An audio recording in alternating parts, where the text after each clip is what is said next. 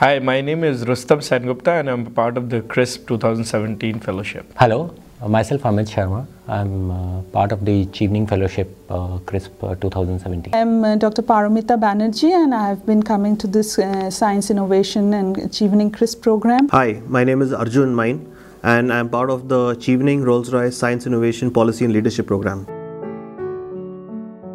The fellowship is uh, what uh, brings together the mix of being in a great institution like Oxford, uh, blends in uh, the, the, the, topics of science, innovation, and the latest uh, in the world on policy and leadership.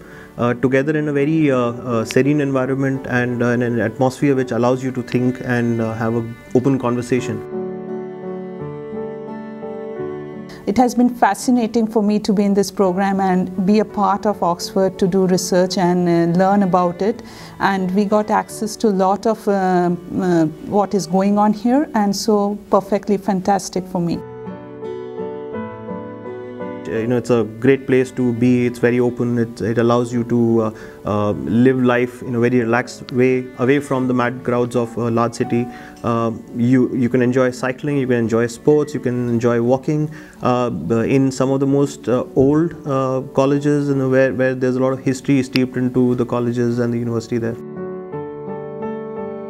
There's an amazing network that you can develop while being part of this particular fellowship and also a lot of things which is happening in some of the other spheres which are not part of your routine day-to-day work you get exposed while you are part of uh, this program.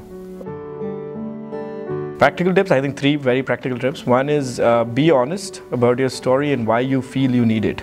Because uh, you i mean it is um, like i mentioned it's a mid-career fellowship. So you don't have to do it. You have to do it when it's time. So be very honest and direct Second is, uh, I think, be um, a little more um, knowledgeable in the breadth because it's a science, technology, policy leadership. So it's not just to be very much in a silo about what you do. So when you apply, have a little bit more inclination to talk about and discuss things which are on a breadth of topics across the world.